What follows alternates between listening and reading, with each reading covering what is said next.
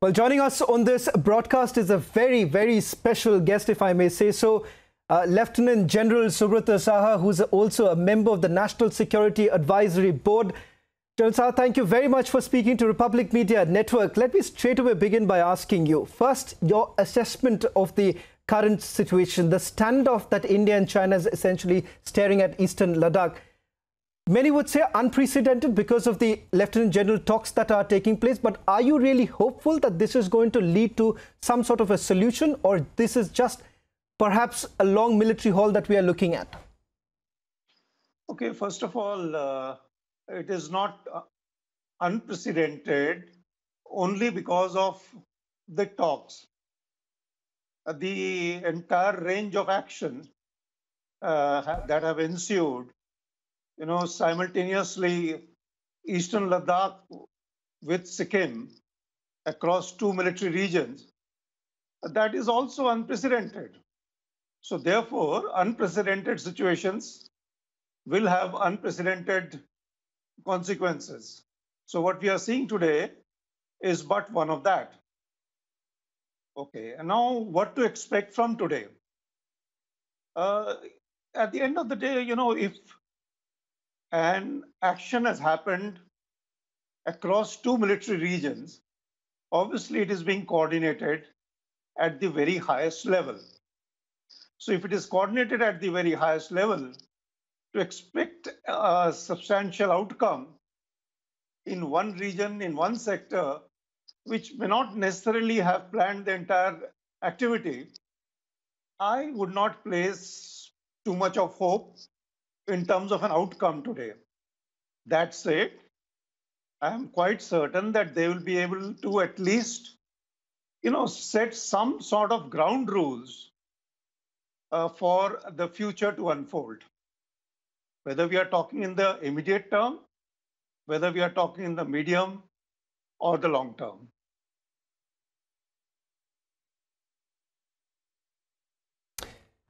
Lieutenant General Subrata can I also then ask you with regards uh, to some areas, General like for.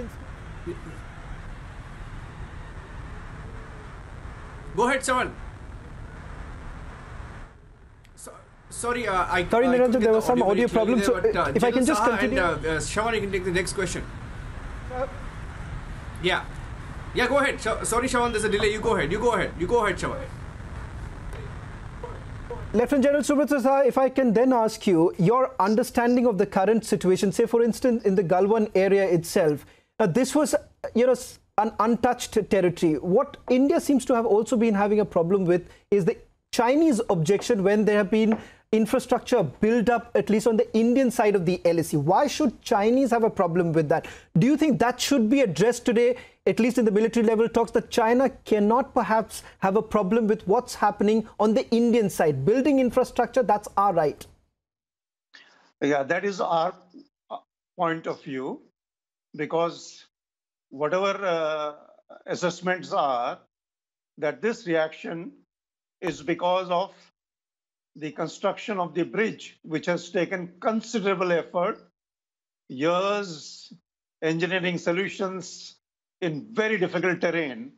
So from our point of view, why should uh, China have a problem? But the irony is China feels threatened. And therefore, they are responding the way they are. Uh, why they feel threatened? Because it gives us the ability and the flexibility to build force at the correct time and space in the area of uh, Daulat Beg Oldi, Oldie, or what is also known as subsector north, which uh, threatens Aksai Chin to the east. And if you go north to the area of Shaksgam, which was illegally ceded, I highlight once again, illegally ceded by Pakistan to China.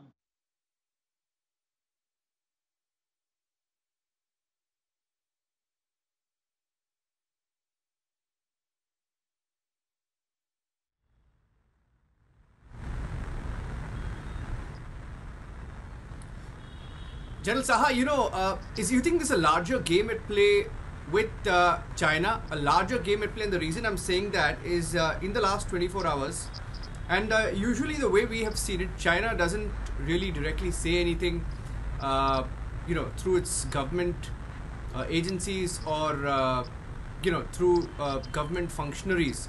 It uses its it uses its you know mouthpieces to convey the message most often. And 24 hours in, and in the build up to this meeting, which you also agreed that it, it is more than unprecedented let me tell you some of the headlines in China Times, which are the Global Times, which is uh, a mouthpiece of the government of China, uh, of, of, of the Chinese government.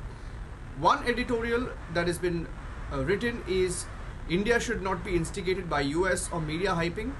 That's a Global Times editorial. India plays with fire, spicing up G7 expansion. So this is the second aspect of it. One, of course, uh, talking about India's proximity to, to the US and our cooperation with the US, especially during COVID. Second, talking about the G7 expansion, which of course uh, Donald Trump also mentioned and India has responded positively. And uh, third, this is just a minor aspect, but telling you, uh, you know, the, the, the mood of the Chinese government or their deceptive means. One more headline says Indian software, and the software's name is Remove China Apps, likely to drop punishment from China. Very interesting aspect. Likely to drop punishment from China. And let me also tell you that uh, they have said, finally, they have uh, agreed and they have said that uh, the border situation generally stable and under control. So, what do you make of uh, the different noises that China is making and the entire saber rattling? Uh, you see, a couple of points. I do not uh, entirely agree with you that China does not use its government officials it uses its government officials to give a set of message. It uses the media to send out another set of message. And what the media messages that you have highlighted has got certain subsets. If you see what is the government message that came from the ambassador of China in New Delhi, he spoke peace. Okay. Now, if you see the messages from the multiple new, yeah. newspapers that you've given out, every newspaper has highlighted one or the other point for which China is feeling threatened.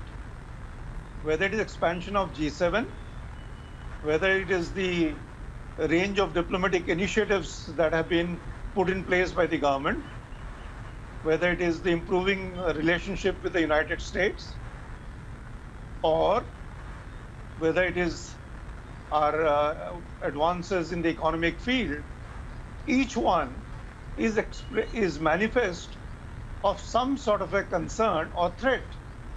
And going back to Shravan's question a little while back, why in Galwan? That also expresses a yeah. threat which they perceive on the field.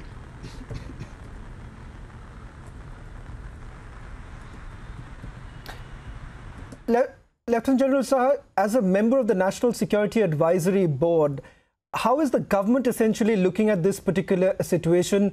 Are you all really hopeful that the military level talks would be enough? Would it suffice? Or there is much more to it? This is perhaps just the beginning of at least trying to lay the ground for a future, perhaps further dialogue between both the nations?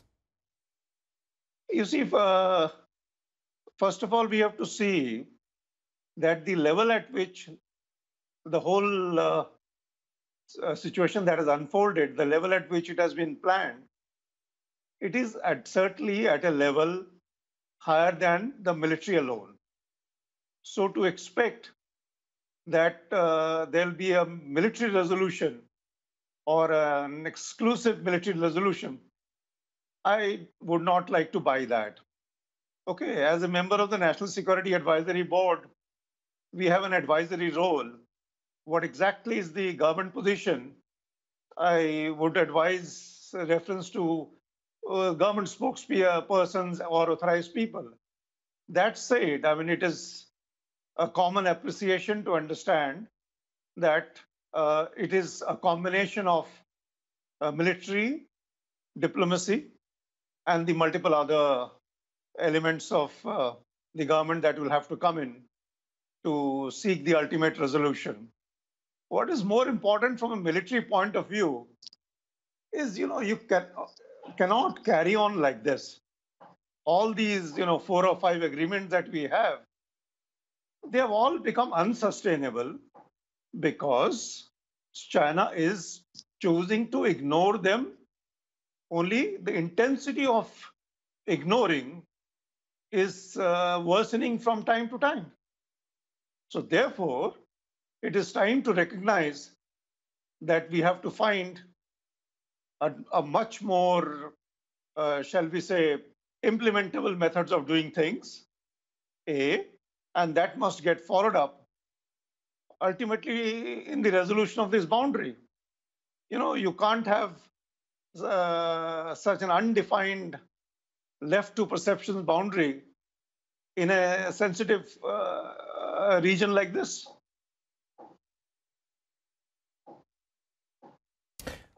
One final question, Lieutenant General Saha, before I let you go. Can you actually trust the Chinese? Because this has been the underlying question or the underlying sentiment that we have seen over the last couple of hours when many guests have come in and spoken to Republic Media Network saying that can we really trust the Chinese given the fact that we've seen what has happened in the past, right from the time when Prime Minister Vajpayee actually had visit, visited Beijing and thereafterwards the informal summits that have actually taken place.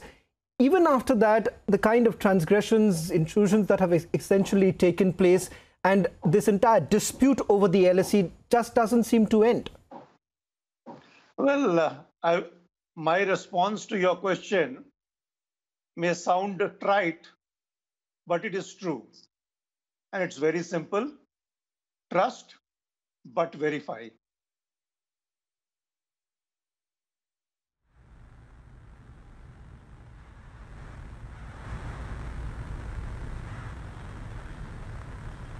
One last question, uh, General Saha. Sorry, Shawan. I just I'll just ask him that one, la- one last question because he also acknowledged, uh, you know, the four or five uh, uh boundary agreements that we broke this morning would be the, uh, you know, highlight of India's response that uh, we are, you know, honoring our commitment at the line of actual control.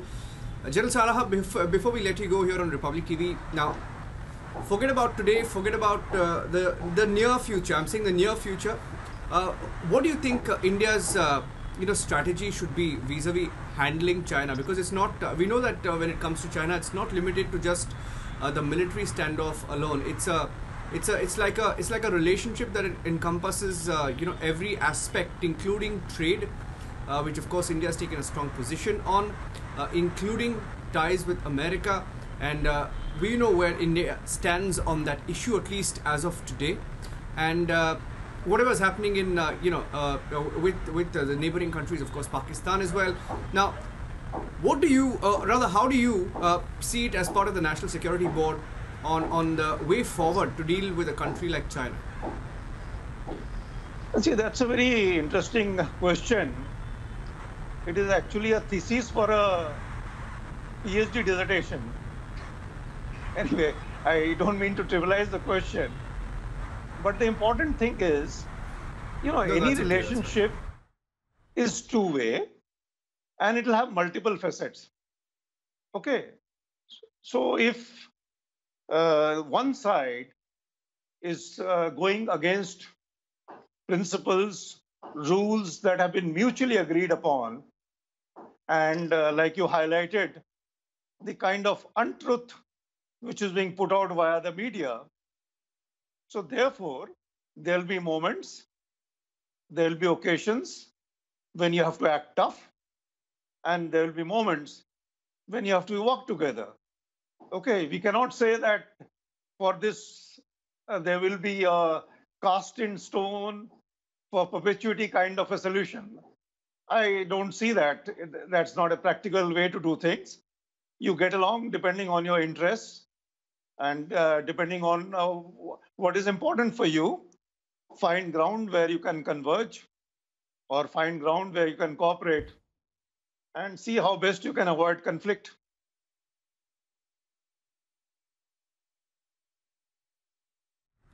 Okay, that's a very interesting answer, if I can say that. General Saha, thank you for joining us here on Republic TV.